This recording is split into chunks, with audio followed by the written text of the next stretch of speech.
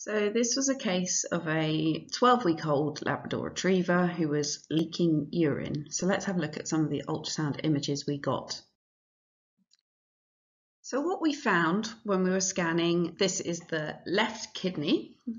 What we've got in this image is the cortex and the medulla, and then we've got the renal pelvis, which is extremely dilated. Because this is a transverse view of the kidney, we can see the ureter coming out, which is severely dilated, and we can follow it along here. The other anechoic tube we have in this, this image is the aorta, and we can see the renal artery popping off the aorta there towards the kidney. So this um, kidney is, is abnormal. We have a dilated renal pelvis and we have a dilated ureter leaving this left kidney.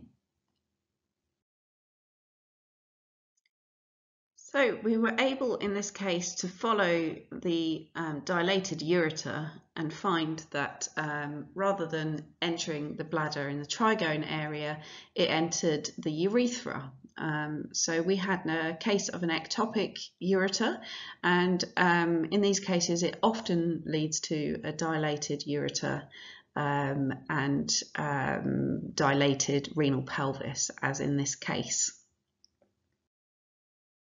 Of note in this case, because we had such a young animal as well, the lymph nodes were really prominent. So um, these are jejunal lymph nodes. This is one, and then we have another one over here. Um, they're quite long uh, and, and slim, which, which is normal, but um, in young animals they're very prominent, uh, slightly darker than the surrounding tissue, so they stand out a bit more. They always have a blood vessel running between, uh, lymph nodes often found in pairs with, with a blood vessel running between them. So this was an ectopic ureter case. It was unilateral. The right side was not affected. The left kidney had a dilated pelvic system um, and the ureter was severely dilated and followed a path down to the urethra.